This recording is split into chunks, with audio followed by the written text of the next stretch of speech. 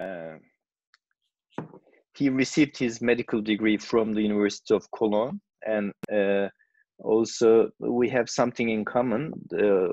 He also worked in uh, for a year uh, in UAB, University of Alabama at Birmingham, with Professor Keith Georgeson uh, on pediatric endosurgery, and he received extensive training in the endosurgical and minimal invasive surgical techniques. And between 2011 and 2015, uh, he worked as a consultant surgeon at the Department of Pediatric Surgery at Hanover Medical School. Um, and then right now he is the chief of pediatric surgery at the University of Leipzig. Uh, he's a well-known friend uh, in pediatric endosurgery uh, community. Uh, and right now I will give the word to Professor Murat Çakmak for his welcoming. Okay, we, we told too much in the beginning, Martin, but uh, welcome to web, welcome to Turkish friends, welcome to Pediatric Surgery Zone, welcome to Turkey, uh, and thank you very much for your kind acceptance, our invitation, because uh, I think you are working hard. Uh, because of that, thank you very much. So okay, thank, Martin. Um, Go ahead. And thank you, Aydin, for the very uh, kind introduction. It's a it's a big honor for me to speak uh, in front of you and your society, as I have really like a lot of friends from Turkey, um, and um, maybe some of them are, are, are watching this too. So um, you asked me to to talk about diaphragmatic hernia. I, I'm gonna um, share my screen now and hope that you can all see there is um, in fact a few videos so if the videos are not working well you just have to give me a feedback and i will um, we will see what we can we can do so Aydin is are, are things working may i start or Yes, you Yes. can start. Everything seems fine. Okay. yeah. Perfect. So, um, as you all know, CDH is uh, two types. Um, there's the Bochdalek hernia and there's the Morgagni hernia. The Bochdalek is the dorsal hernia, the congenital one, uh, discovered by a Czech anatomist. And this is the type I'm talking about today. In neonates, um, the, the first descriptions were actually uh, in larger series um, in the middle of the last century by Robert Gross that you all know. And it's um, worth to look into his textbook, how he repaired um, it open. And he's, he said, we are convinced that this operation should be undertaken as soon as the diagnosis is made in the first 48 hours, because he thought the patients are more stable at the end of um, a week or um, compared to um, the end of the week and 10 days. And you know, we, we nowadays wait a couple of days until they are more stable. But what is even more interesting is actually how they did it. Um, they crushed the phrenic nerve because they were irritated at that time that if you repair a CDH, um, the diaphragm is moving. And they said if you put a hemostat uh, across the um, phrenic nerve, that paralyzes the diaphragm for five to six weeks, and then the nerve recovers. So I thought that was quite interesting from a, an open technical point of view. Surgical options, you know, you can do a, a, a vertical midline, a transverse, an oblique. That's up to you. And then you can close a Bochdalek hernia easily with interrupted stitches, a small one, or like this patient you see here after ECMO uh, with a Gore-Tex patch, that was the one we would use. So after the open repair, um, it took another 50 years um, to take the next step. And the next step was not thoracoscopy, the next step was laparoscopy. David van der Zee from Utrecht, um, the Dutch guy, um, published a paper on a six-month-old child with a um, type hernia, which he fixed from the abdomen by a laparoscopy. And David said the advantages of laparoscopy would be easy reposition of the intestines into the abdominal cavity, and closure of the defect may be easier from the abdominal side. It took another six years until um, Francois Becmeur from uh, France described the thoracoscopic approach in 2001. And maybe some of you may uh, know him. He's really like a true gentleman and a great speaker. There was a photo, I met him on last year in a MIS meeting in Naples where we were talking about thoracoscopic CDH. And he is a very, very um, kind uh, surgeon. In my talk today, I will talk about both the technical aspects of CDH repair and the controversies. And I want to start with the technical aspects. First is positioning of the patient in the OR. You can position the patient at the end of the table, like seen in the upper picture, um, with the monitor at the feet, or you can place the patient in an oblique fashion across the table, and this is up to you. This is the setup you see in my operation room with the monitors at the end of the table and this is how we fix the patient um, for a left-sided thoracoscopic CDH repair. And of note, you see on the right side of the picture that there has to be enough space for the anesthesiologist to access the patient. For all MIS procedures in my department, we have a positioning book where um, it is written down what equipment we use, how we position the patient, what we need for positioning the patient, um, what the anesthesiologist needs to know, what the scrub nurse needs to know. And I really encourage everybody who is doing MIS um, to do this for every operation. We have one for thoracoscopic CDH um, repair, one for TEF repair, one for fundoplication. And um, if you, when you standardize this, you have less trouble during the operation because as you all know, MIS is a combination of tiny little steps, and even every tiny little step can make life easier or difficult. So you better you are prepared, the smoother the operation will go. This is, I hope you can see a video now, how we drape the patient. And it's important, um, you see on the right side, the anesthesiologist, when you drape it to leave the mamilla free, that when you position your trocar, you don't lose orientation. On the left upper corner, you see the anesthesiologist, and she, in that case, really has to access the patient. And um, by proper positioning, um, that is then very smooth because during the operation, you need to um, communicate with your anesthetist very well. Then next step is the trocar placement. And for this, you have two options. First of all, you should stay cephalad, but for the camera trocar, also not too close to the scapula. Maybe some of you have encountered also that if you put the trocar right where the scapula is and you angle your trocar that is uh, fighting with the scapula. So stay a little bit away from it. And then the second and third trocar and the anterior and posterior axillary line. If you do that, you have this picture with a five millimeter camera and the right and left hand three millimeter ports. We always draw a little cartoon where the head is that we don't um, accidentally um, lean on the patient's um, head. So this is option number one.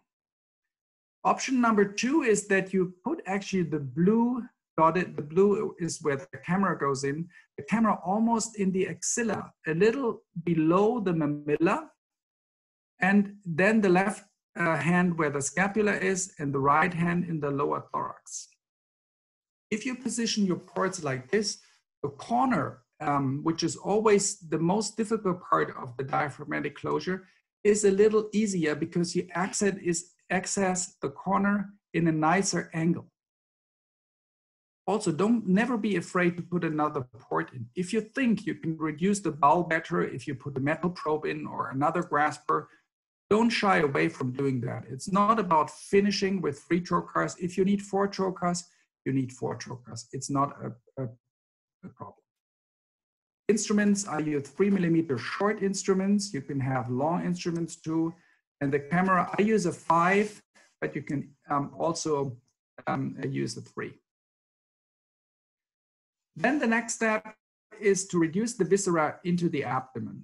Um, and for this, you should really start with low pressures, uh, three or five millimeter mercury, the max maximum, and very low flow. And to use blunt graspers. You would never introduce a Kelly forceps, for example, or something that is sharp because you can injure the bowel.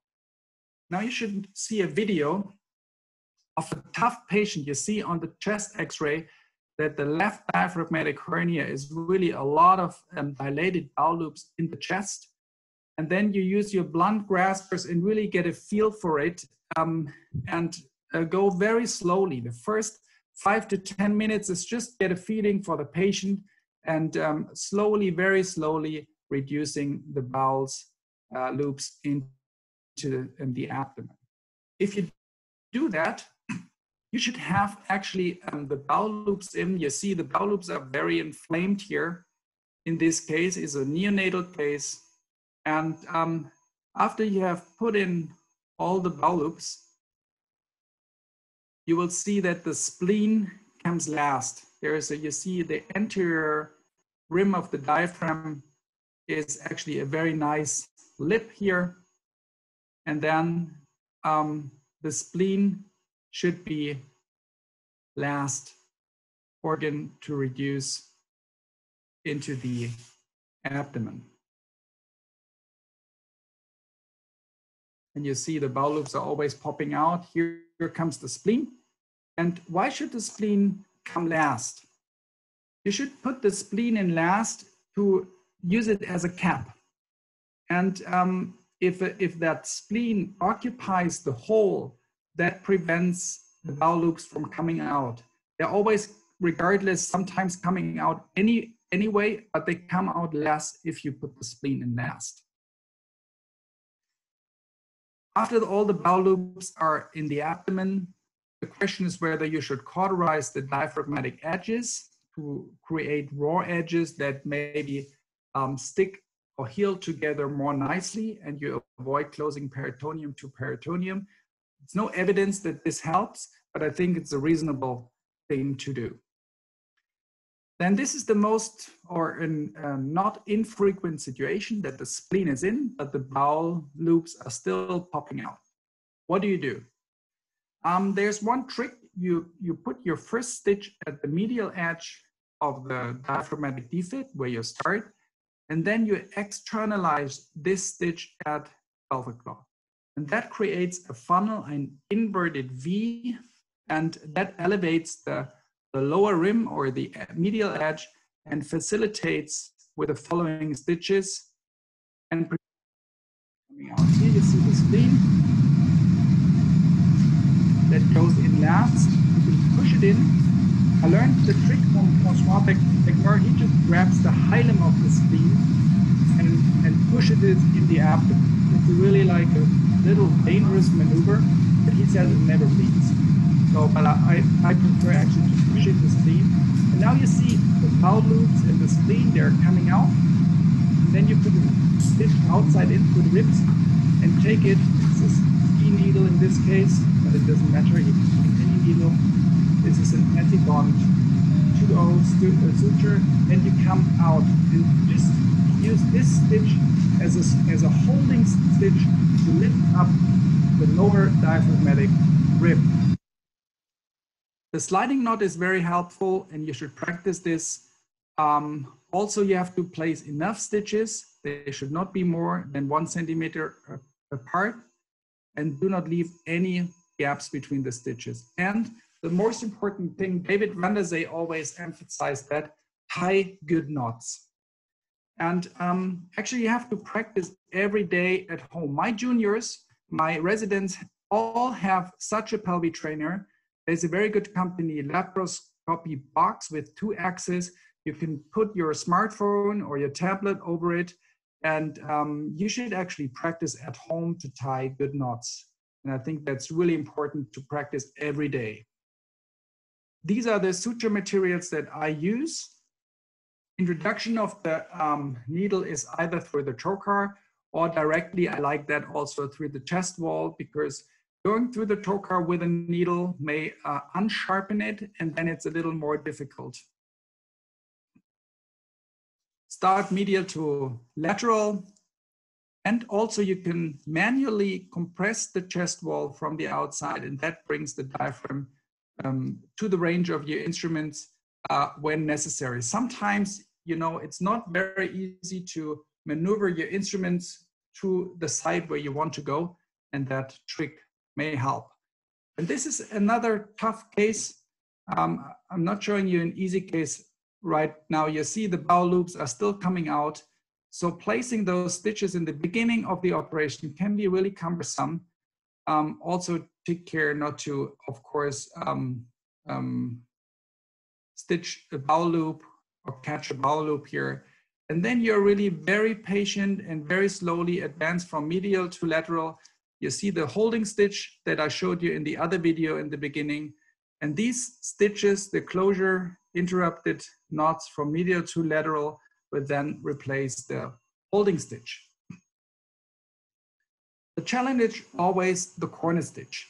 And that's the most difficult one um, because the corner is difficult to stitch and tie. However, in the corner, you have the rib. And the rib you can take advantage of. And these are called pericostal sutures. So what you do is actually you, um, I'll show you a video also later on this trick. Um, you go in with a regular needle and then feed in a Prolene loop and then go around the, the rib on the other side and then catch that Prolene loop and pull on that Prolene loop. And you can even trade that Prolene loop for an Ethibond loop. And by that, you can actually, you see it on the left picture, there is the rib and then the, the, the stitch comes outside in through the upper rim of the diaphragm, through the lower rim, and then outside, and then you tie it over the rib. And by this, it's a very secure suture um, and closure of the edge, and where it's so difficult to get um, to with your laparoscopic instruments. I'll show you another video now, how you can do this pericostal sutures you realize that this is an easier case. This is um, a patient um, who was six months old already, and there was an incidental finding of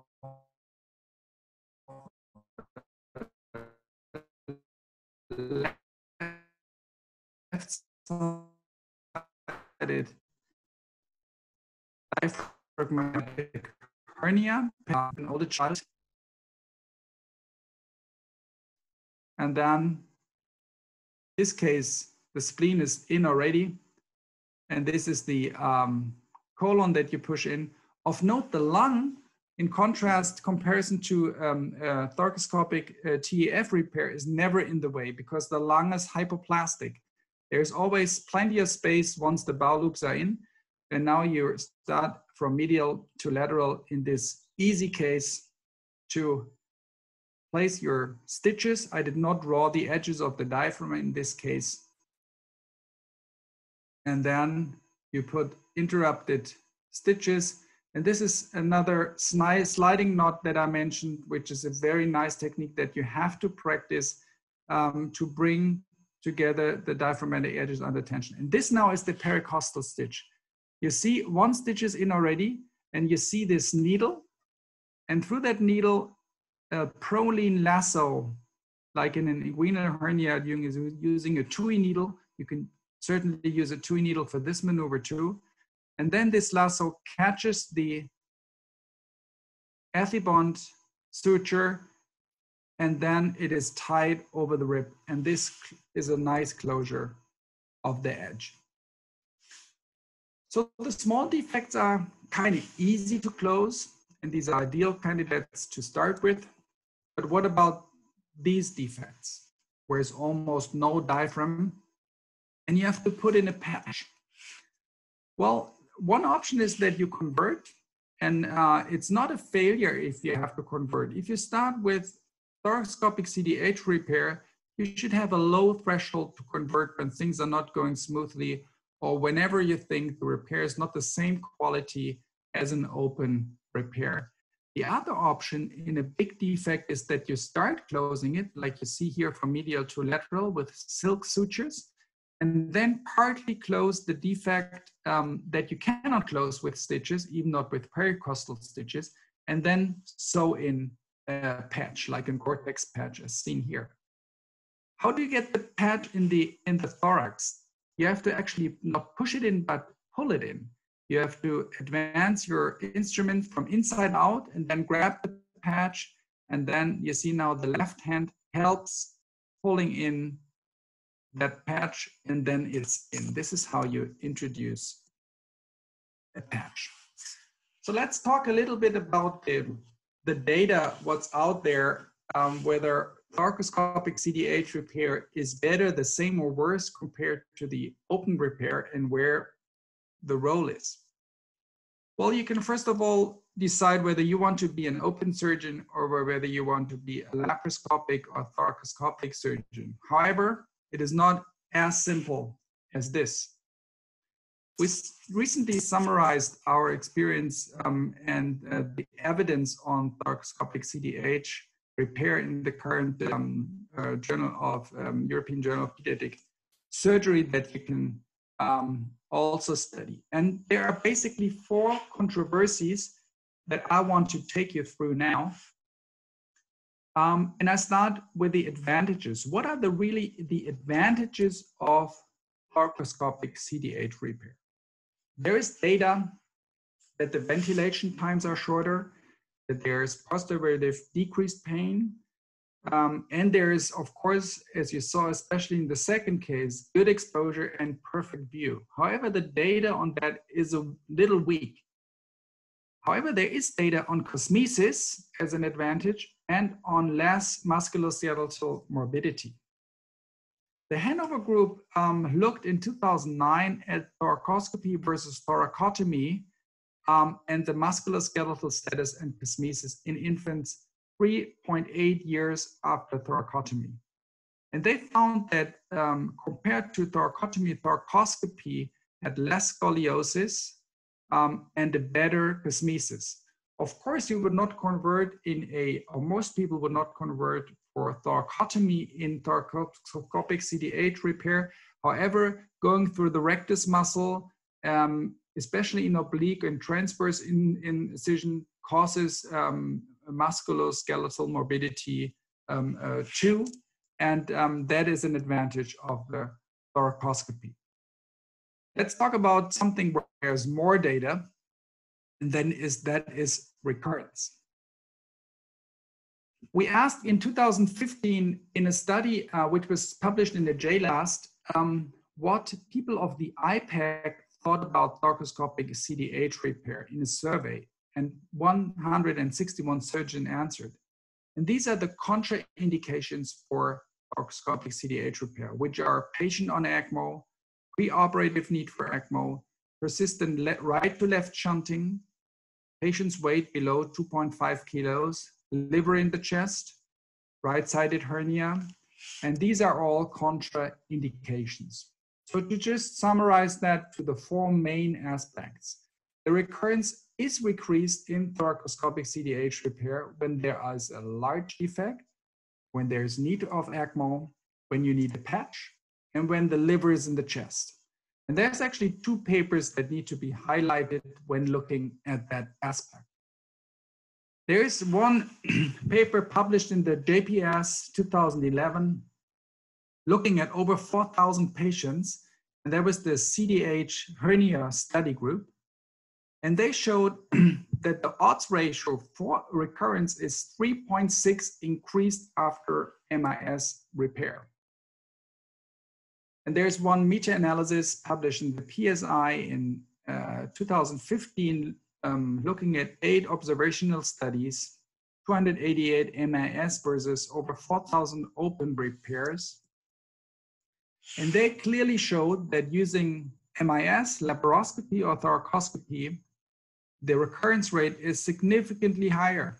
And this you have to discuss with your parents and patients.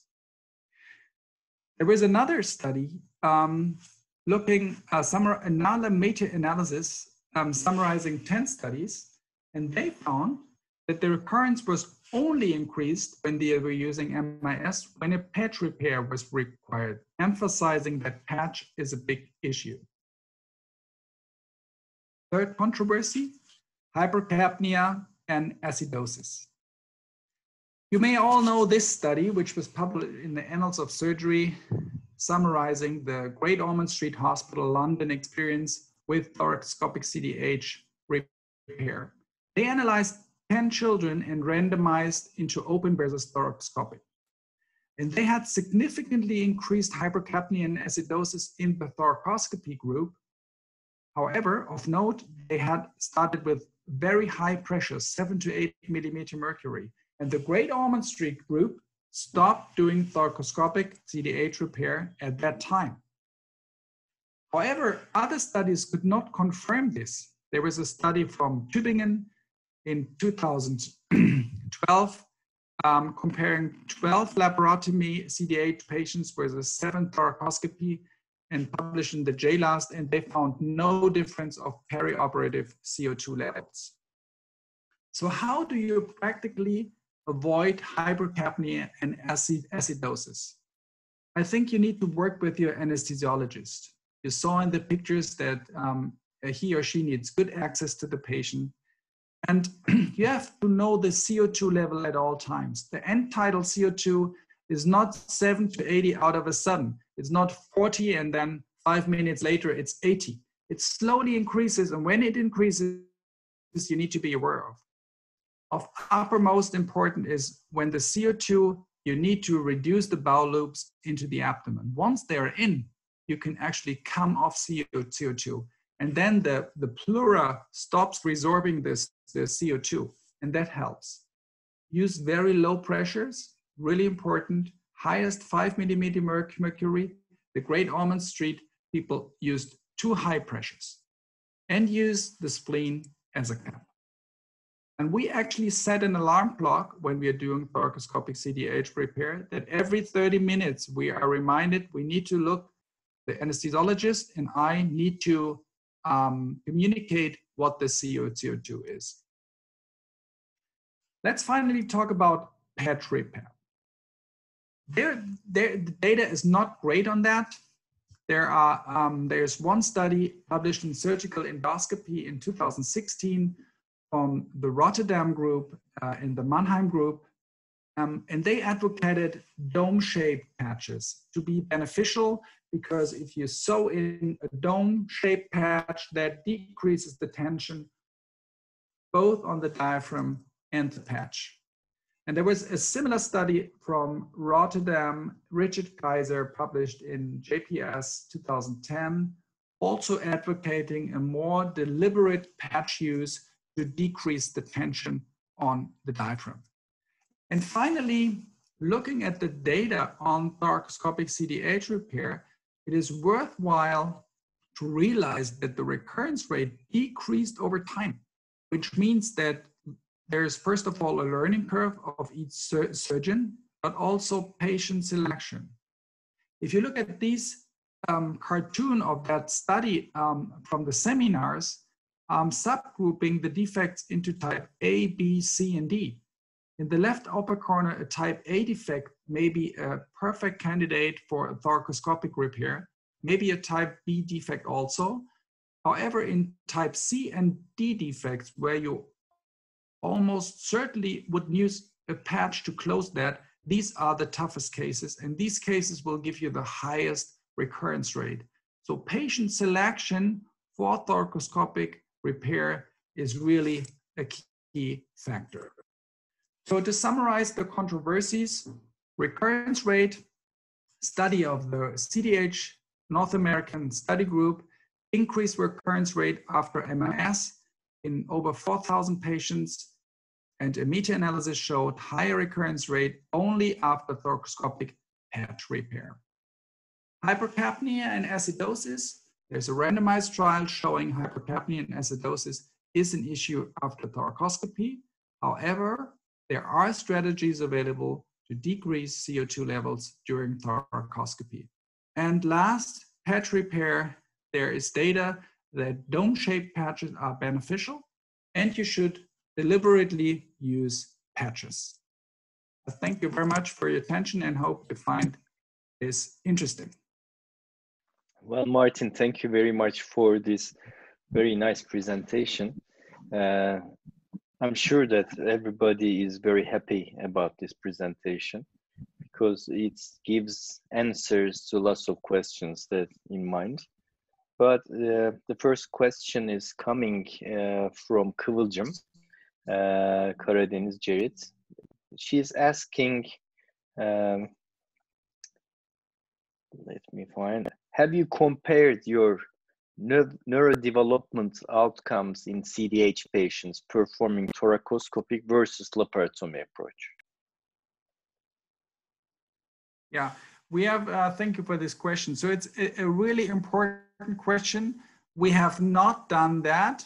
However, um, we are following up all our patients and I'm doing thoracoscopic CDH repair and thoracoscopic TEF repair since 10 years now and I did not find any difference in um, the neurodevelopment outcome, like whether they go to school and what, how they do at school, and and so on. So um, I did not systematically do that, um, but my feeling is there is no difference, and there's also a lot of surgeons, a good MIS surgeons that I know, who who are thinking that the CO2 may be an issue in studies, but in um, translating into poorer neurodevelopment outcome is not the case.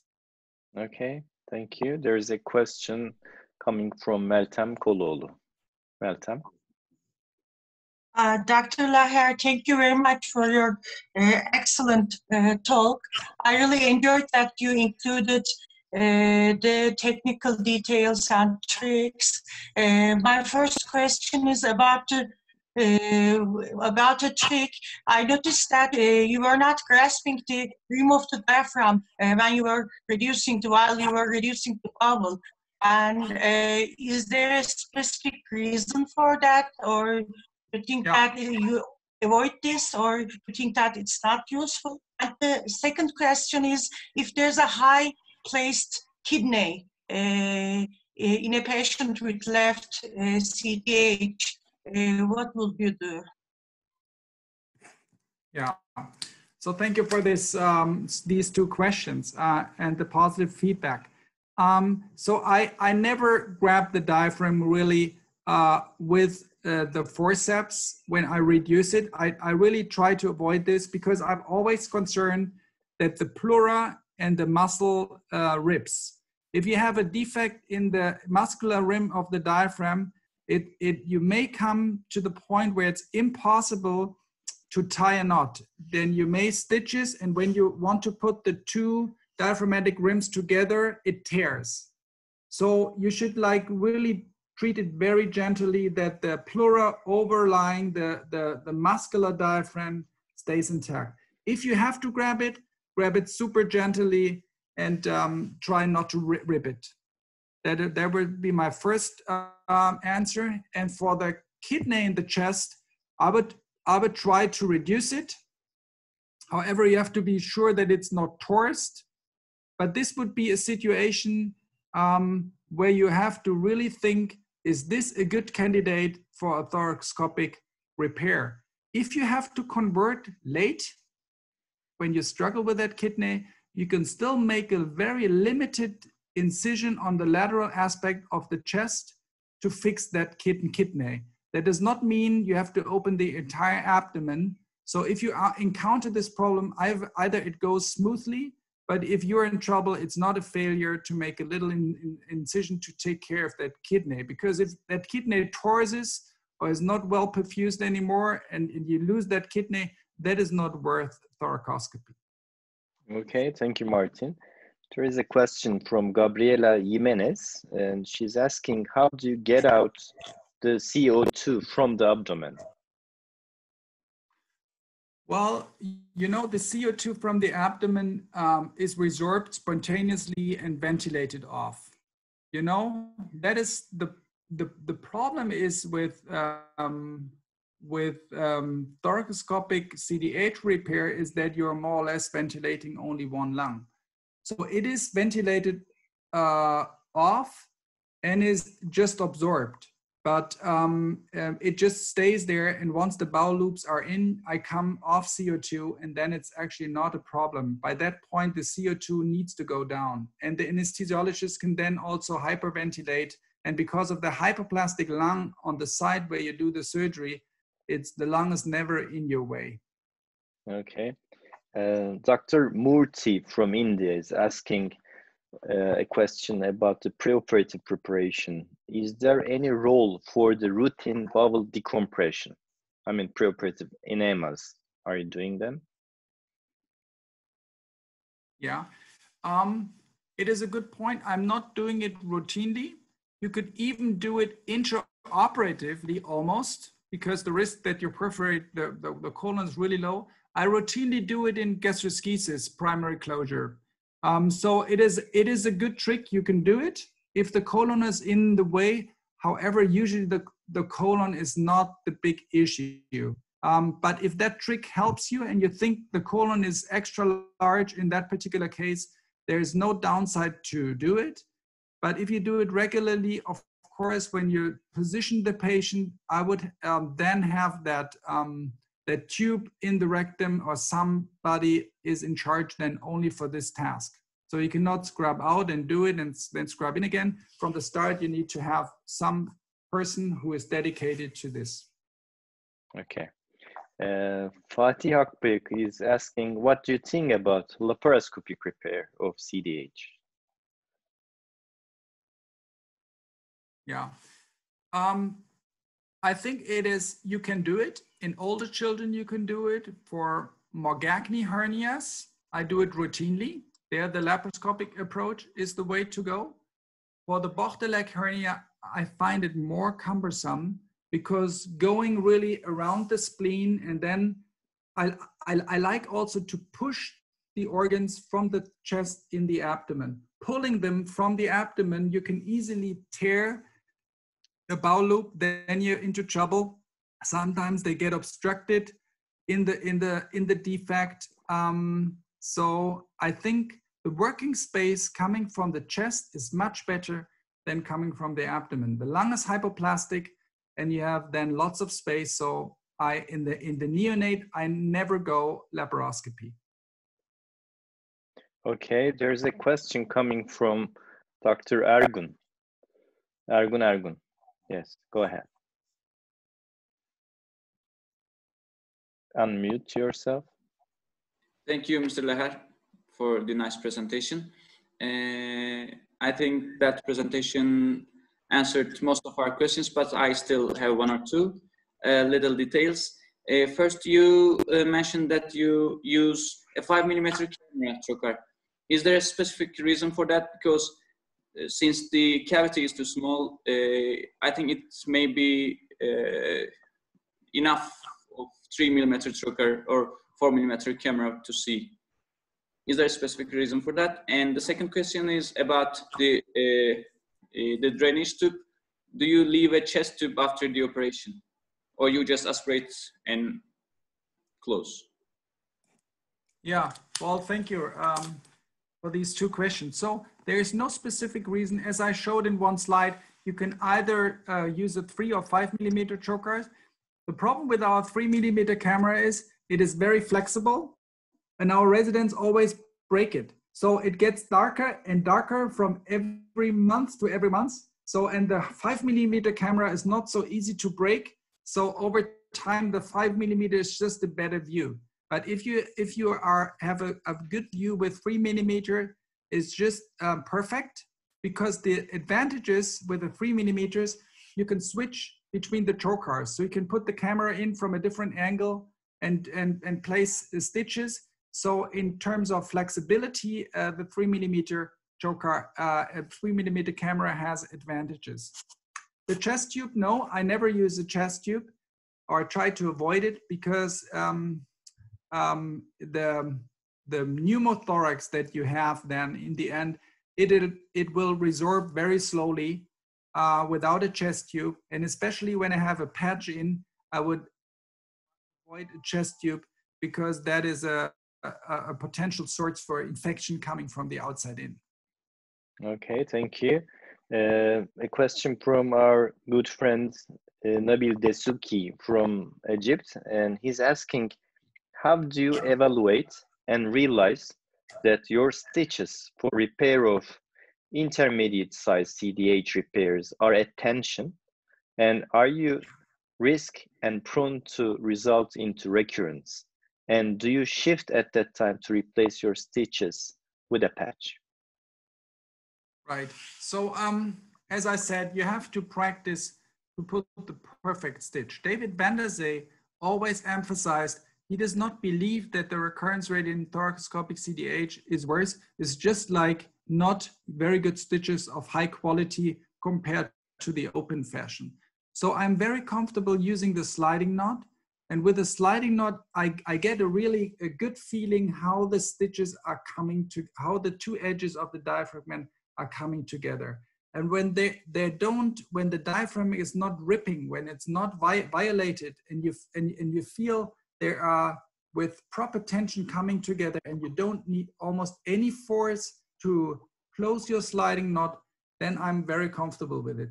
And then um, I actually will not reinforce my repair uh, with a patch. I know there are people doing that, also with uh, or um, other types of patches. I'm not doing this. So um, I think um, proper placement um, of good knots is key.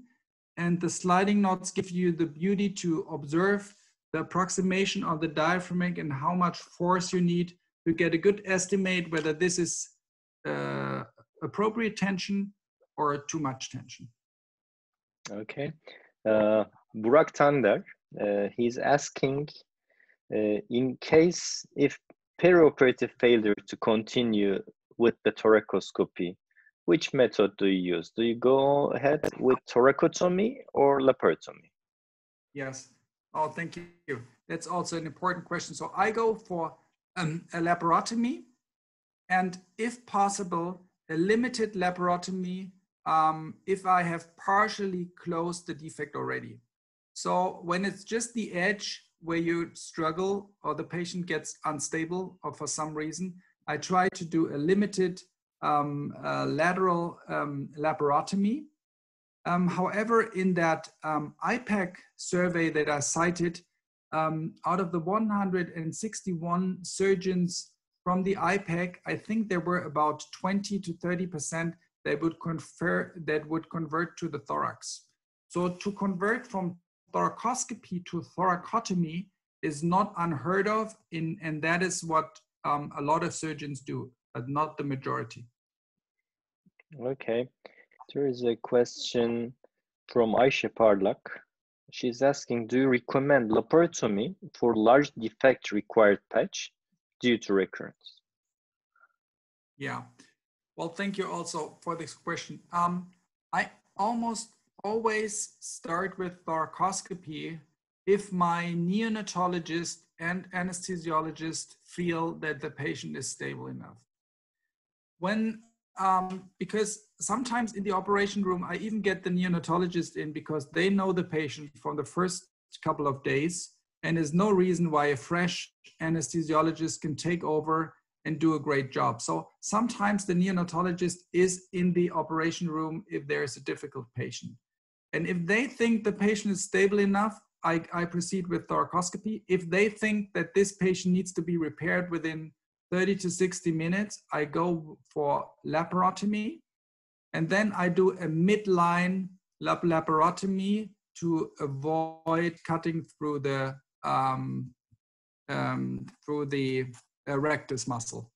And I think that helps with the post-operative breathing. But as I said, it's patient selection. If you have a type D defect with a liver in the chest and uh, a very bad lung to head ratio, unstable patient, maybe still on um, nitric oxide, um, and uh, um, uh, unstable patient, then you may um, refrain from going thoracoscopy directly.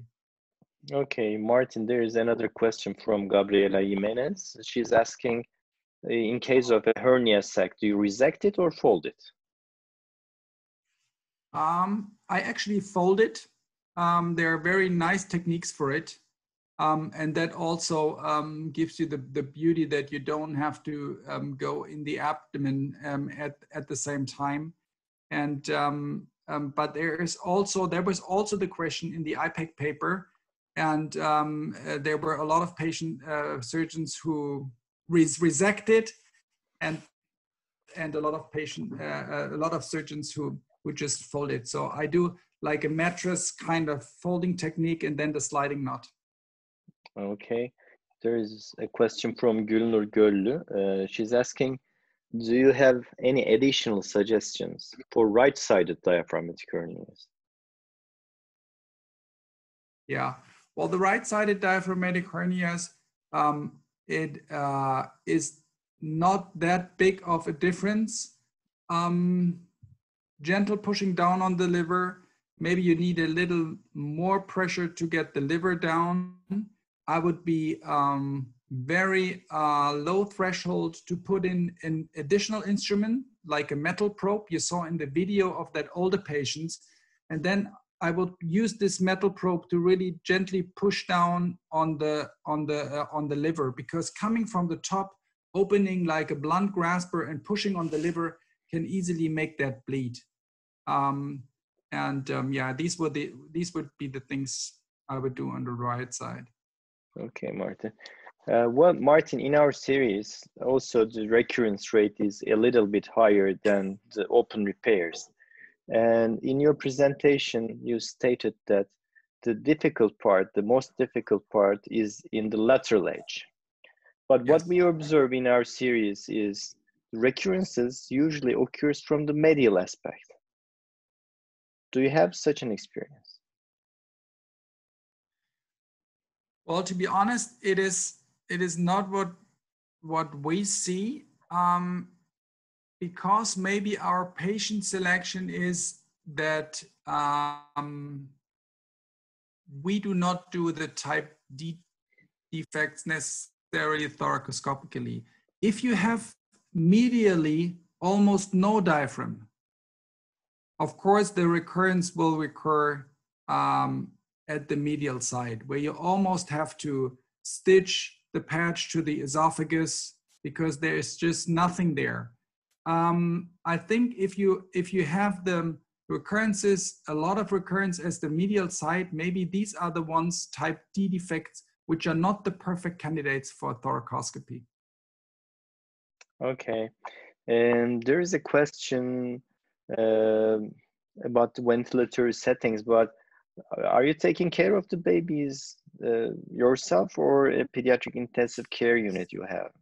Yeah, you know, as we both worked in Birmingham, uh, we did take care of uh, the ventilatory setting ourselves. In that setting, in Leipzig, we are not. We have fighted a lot with our neonatologist about different philosophy, uh, permissive hypercapnia, and so on and we just gave in. We're not fighting anymore. They are doing it. And uh, I also know from the largest center in Germany um, that the neonatologists are, are the ones who are primarily taking care of that. So um, I think it's a shame because every resident should also know what is the oxygenation index and what are the parameters that drive the pulmonary hypertension because we all know it's a systemic disease. It's not closing a hole. It's to treat pulmonary hypertension. And um, the answer is our neonatologists are doing it primarily. And it is really a shame that we surgeons are maybe um, then uh, not are not experts anymore in treating pulmonary hypertension, which is uh, very, very uh, important to understand. Okay. And one technical question uh, from again Nabil Dasuki. Uh, do you fold the sac with one layered stitches or as multi-layered? Well, this is one layer. You, you start and then you fold it. And if you're happy, you just leave it and you, you think it's still everted, like in a diaphragmatic eventration, you put a second layer over it. So it just depends on how happy you are with your first layer. Okay, again, Meltem is asking, are you inserting the ECMO canals yourself or the cardiovascular surgeons inserting them? It is, it is the cardiovascular surgeons in Leipzig. In, in Hanover, we uh, did it with the intensive care team together. In Leipzig, it's a cardiac surgeon because the, the ECMO is at the cardiac center, which is a different building. And they, they are very um, fond of doing that themselves. However, I've, I've done that during my time in, in, uh, in Birmingham a lot. And I think it's really also a shame because it is great training for a, a, a resident or a fellow to work under pressure to get that vessel um, dissected out and put the cannula in. And um, yeah, I, I think a pediatric surgeon should be able of doing it. However, if you don't do that every other day, you also lose the skills. So if you have not inserted the cannula in five years, um, I would not be comfortable to just go on and do it. Okay. Uh, Martin, thank you very much for this wonderful presentation. Uh, we enjoyed it a lot. Uh, and Munter would like to talk. Okay, Munter. Sorry, I unmute you. Okay, you have to unmute yourself. Yes, great. Oh, all right. Um, good evening, everybody. That's Hey, very nice uh, talk and presentation, Martin. Um, thank you. thank you very much.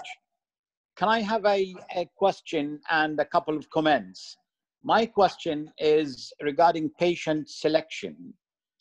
Do you, what criteria do you use to, to actually predict the size and the complexity of uh, the diaphragmatic hernia?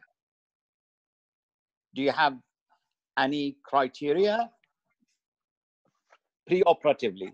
Yes.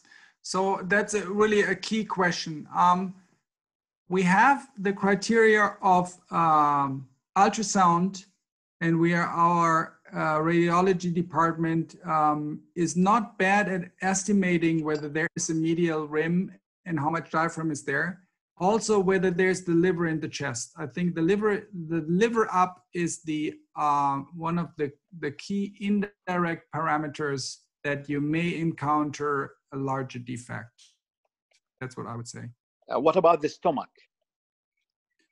The stomach, yes. If the stomach, stomach is in the liver, chest, Yeah, stomach in the chest, of course, is, is also in the indirect parameter for a larger defect. The more organs are in the chest, spleen and bowel is just normal, and everything else is indicates uh, larger defects. Or the and and if- and um, these findings do they alter your decision about whether it's uh, going to be thoracoscopic or open or um, alter your decision about doing thoracoscopy and prepare yourself for a patch Yes.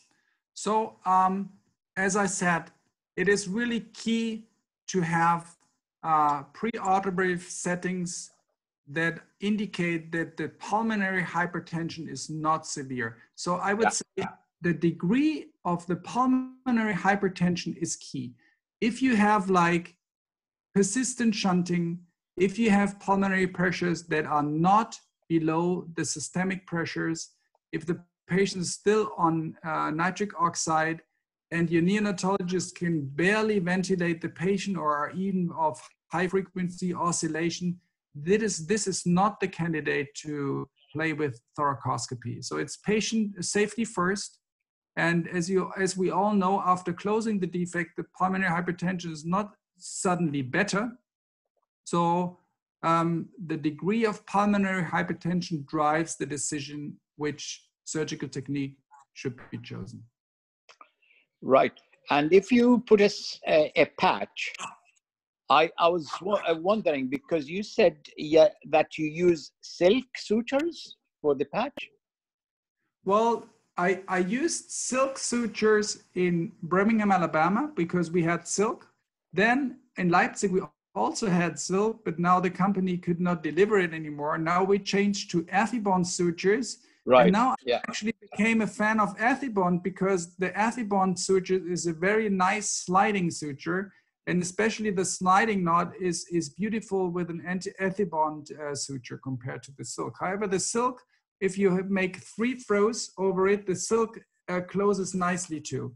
So it's two different institutions and two different uh, suture materials and whatever you feel more comfortable with. Right. The other thing, do you actually um, cauterize the edges of the rim just to increase right. the um, fibrinous reaction? Right. So that was my, um, that was on one of my slides. I think it's a perfect, reasonable thing to do. Um, and um, there's no data on it that there it has an evidence for better healing. However, if you have like almost no rim, if you have plenty of rim, it's nice to cauterize it. But if it, like dorsally, for example, there's almost no ring, rim, I would be very um, reluctant to cauterize this because I would be concerned that I burn the entire rim and then my stitches will tear. And then you almost have to either put a patch in or go around the rib. So um, that would be my answer. Right. Can I just um, uh, make a, a comment or I, I don't, do you tilt the head down a little bit? Yeah, I do not. Um, uh, when I want to reduce the bowels from the chest in the abdomen, I put actually the head up a little bit to help um, the reposition of the bowel loops by gravity into, into the abdomen. Oh, oh, no, I didn't mean for the reduction of the bowel uh, from the chest. I meant to facilitate um, your maneuvering because sometimes if the head uh, is on the same level uh, with the trocars, you might actually find it difficult to manipulate, especially the corner stitch. So what I do, I tilt the head a little bit down about 20 degrees, which gives me more space to uh, maneuver. The other thing which you mentioned about the reduction, now what brings me to that is I usually put um, the CO2 on four millimeters and I wait for about four to five minutes. And you'll find that actually the intestine has gone down uh, slowly. And then you just don't have to push a lot to actually reduce the uh, content of the uh, thorax. Yeah. Well, thank you, Munter, uh, sharing your ex expertise. If you have also a, a, a lot of this. So um, I think the head down is a nice trick. As I said, um, with the two options of putting your trocars, when you yeah. put the camera in the axilla, you, avoid it a little bit, but you're right. If you put the camera at the scapula and use the right, uh, the anterior and posterior axillary line, um, you are in trouble with the head. So this yeah. is a nice trick that you shared. Yeah, try try it. it. It's very very useful. Yeah, very nice. And then the second, you're totally right to just wait a couple of minutes. It's, it is as true as for thoracoscopic TEF repair. Just wait a little bit until the lung um, um, is getting atelectatic in the TEF repair. But while um, you are waiting for five minutes, I, I, I, let my fellow play a little bit with the bowel loops and get a feeling of the patient. But this is more or less the same, is waiting and getting the, the feeling. But you're right, you don't have to push too much in the first minutes and just let the pressure work on the bowel loops um, by itself. Totally yeah. correct. Good and a very important uh, aspect. Martin, thank you very much. I enjoyed your talk and uh, nice to see you and yeah, nice to see everybody. I did not expect yeah. to see you today, Munter. So great. Yeah. good. good. okay. Munter, thank you very much for your uh, for sharing your experience with us. And right now, Kut Kutai Bahadur would like to ask a question. Yes, Kutai. Good. Thank you very much for the nice presentation, Dr. Lacher. Uh, do you control the vascular structures of liver after reducing with the Doppler ultrasound in case of the right-sided hernia or no? Excuse me, I didn't get it. With Doppler check what? Uh, vascular structures after the reducing to the liver. Right. Do so you need the uh, control Doppler ultrasound for the vessels or the vessels go to which organs? Which Liver. Liver. He's Liver. asking Liver. about the liver. Yes. liver? No, we're not doing that routinely. So we think if the uh, if the um, child is making urine that indicates there's no abdominal or the likelihood of abdominal compartment syndrome is not so big, and um, we would not necessarily uh, do a Doppler of the of portal vein or some some something like this. No. Thank you very much. Well, Martin, thank you again for this presentation and thank you for all the participants for the questions and comments. Uh, hope to see you next Wednesday with another guest. Uh, I wish you uh, have a healthy and safe days for all. Thank you. Okay. Bye bye. Thank you very much for having me.